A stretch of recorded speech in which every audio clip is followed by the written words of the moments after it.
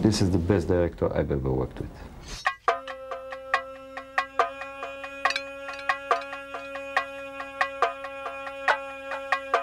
Working with Ringo is, a, is, is quite a challenge. Um, Ringo, a director that likes to move, keep things as quick as possible. Ringo knows exactly what he wants. I just keep them eye line, just in case they come in, come out, come in, come out. I've gone from here to there. You know, now they're all looking on the camera right. This was looking at the camera left. They were looking camera left. Why don't we put the cameras here? Put the camera on this side, sure. the Why are we on on the the side. The people here stayed here. Huh? Only people coming in. They were here. There was three guys right there. Okay, let's go.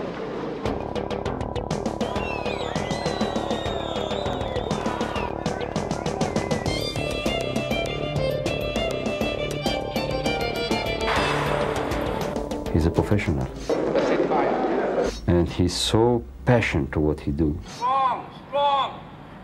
Bang!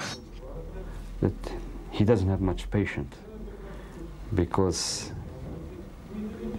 he lives the work 24 hours.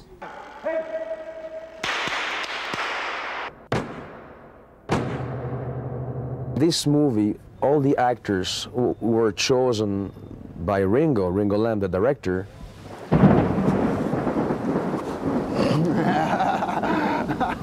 Thank you.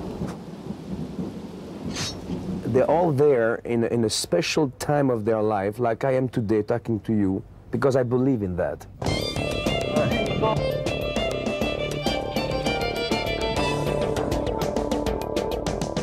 Ringo Lam, the director, who's like doing, he's like, he's just like a madman.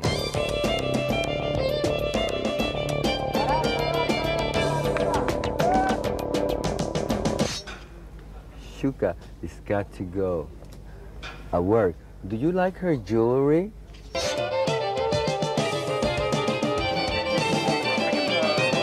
Very fake. And if I say, okay, it's fake, it's bullshit, what do, what do I got to do? And he's like, your heart, tell the truth. If you tell the truth, I don't care how it sounds or what it looks like. If it's the truth, right on. If it's bullshit, I cut you out of movie.